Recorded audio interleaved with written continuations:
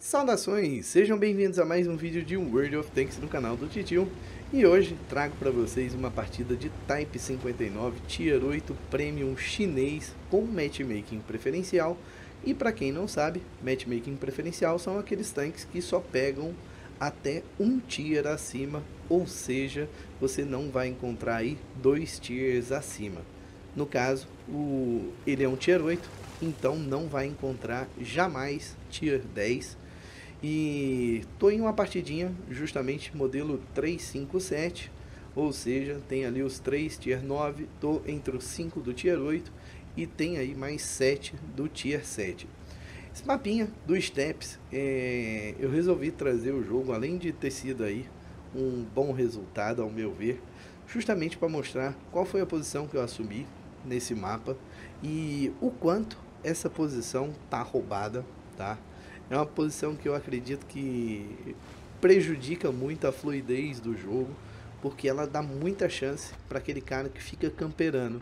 Assim como existe essa mesma posição em uma pedra ali em D em D0, tá? Aqui, onde eu estou mostrando aqui com o mouse. E essa posição, se você souber utilizar direitinho o Double Bush, Aqui antigamente tinha até uns arbustos mais próximos, eles tiraram esse arbusto, mas mantiveram aquele ali um pouco mais à frente e também esse outro arbusto aqui. Essa posição é uma posição muito forte porque você consegue defender o camp, você consegue segurar o avanço do time inimigo e é lógico, sempre vai ter alguém aqui à sua direita para estar tá spotando. Você vê, eu atirei por trás das árvores, eu não estava com o arbusto da minha frente completamente fechado, mas por eu ter alguns arbustos na frente, terminei que não fui spotado. Agora sim, fui spotado, acredito que deve ter algum gapzinho ali entre a moita e o Centurion onde eu tava. E você vai ver aí agora, eu vou estar tá atirando aqui tranquilamente nesse IS. E como eu falei, se tiver gente spotada ali, eu vou conseguir atirar na maior tranquilidade do mundo, entendeu? E essa é uma das coisas que me entristece um pouco vendo esse mapa, por quê? Porque o time que puxa demais sempre vai terminar sendo penalizado por algum tipo de posição como essa. E a Wargaming parece que nesse último update que ela fez dos mapas aí, ela tem adicionado cada vez mais pontos como esse. Você vê aí, eu tô atirando, não tô sendo spotado, tá?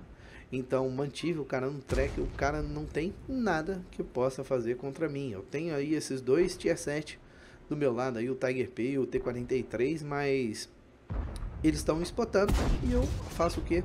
Somente aproveito aí o spot deles e vou atirando, fazendo o que? Fazendo meu double bush e tô tranquilo. É lógico tem um tanquinho agora morto ali na frente, então não fica tão fácil de estar tá acertando o tiro.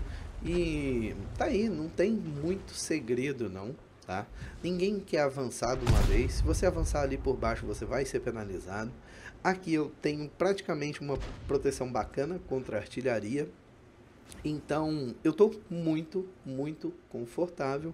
E conforme vocês estão vendo aí, eu só faço o quê? Só faço escolher os meus targets. Agora sim, esse Carnavon aí e esse Tiger 1 vão fazendo esse avanço grotesco. E como eu falei, eu tô com proteção aqui, tô bem tranquilo. É, eles estão completamente expostos, decisão muito errada. Eu esperei um pouquinho para tirar esse tiro para ver se pegava na track. Terminou que não deu certo. E agora sim, o Carnavon foi um pouquinho mais afastado e eu não consegui acertar o tiro nele. Mas agora sim, Tiger 1, vamos focar aqui no Carnavon. E você vê aí, o, o time dele, esses dois caras tiveram a coragem de avançar. E o que aconteceu? O Centurion 7/1, o Tiger 1 terminou parando ali de avançar, o VK30 não saiu do cap. Ou seja, muito ruim para todos eles. Tô atirando aí no Centurion mais uma vez, vou começar a atirar nele bem tranquilo. E tô bem protegido. Outra coisa, é lógico, não sei se vocês já perceberam, estou jogando com outra conta aí que não é meu nome. E eu falei para vocês que eu ia fazer um vídeo especificamente sobre isso, mas eu vou estar tá utilizando esse aqui para poder estar tá discutindo um pouco com vocês. A Wargaming deixou naquele vídeo lá de mudanças a serem implementadas em 2019, dizendo que vai poder esconder o nick e esconder os stats. E essa conta é uma conta que o Stats não aparece por ser uma conta da Wargaming e não é a conta xerife, tá pessoal? Essa conta é uma conta teste que a gente recebeu os criadores de conteúdo para poder criar conteúdo com alguns tanques. Então, ultimamente eu tenho jogado bastante com ela e, sinceramente, as pessoas que não conhecem o meu nick e não conseguem ver o meu status, elas não de maneira alguma é, ficam me caçando, ficam me oferecendo risco. É lógico que agora depois do vídeo do 279, mais gente ficou conhecendo essa conta, mas aonde eu quero chegar? É, eu acredito que para os players veteranos, essa questão de você conseguir esconder nick, conseguir esconder o stats, isso aí vai ser uma coisa muito bacana para o jogo, porque vai fazer o que? Vai te dar maior liberdade. Afinal de contas, na guerra você não sabe o nome do teu inimigo que está ali do outro lado e por que, que no jogo você tem que saber. Então, é basicamente isso que eu queria trazer para vocês é o que? Você jogando nessa conta, você joga muito mais tranquilo e quando isso aí for implementado ao jogo, eu acredito que vai ficar bem mais bacana, bem mais tranquilo e até mesmo foco de artilharia, tudo, tudo, tudo termina mudando, termina sendo alterado quando você utiliza uma conta que não aparece o teu nome. E referente a essa partidinha aí, é justamente aquilo que eu falei. É... O jogo ficou com essas duas posições, tanto essa posição aqui, quanto a posição ali onde eu estava. São duas posições muito fortes. E eu não sei se vocês já perceberam, mas esse lado daqui para defender tá muito melhor, justamente por causa dessa posição.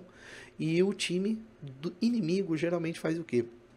Deixa sempre o time que está aqui do meu lado avançar por aqui para estar esperando ali, utilizando a TD, ou então até mesmo aquelas montanhas ali, os caras ficam camperando ali, esperando pelo avanço. Ou seja, é, o jogo tá ficando muita camperagem, tá?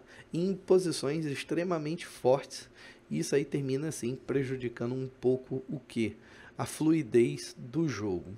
Alguém pode gostar, pode não gostar, pode concordar comigo ou não. E referente à partidinha, tá aí 5,371 de damage, foram duas kills, foi um ace. E eu espero que vocês tenham curtido. Se curtiram, não esqueça de deixar seu like no final do vídeo.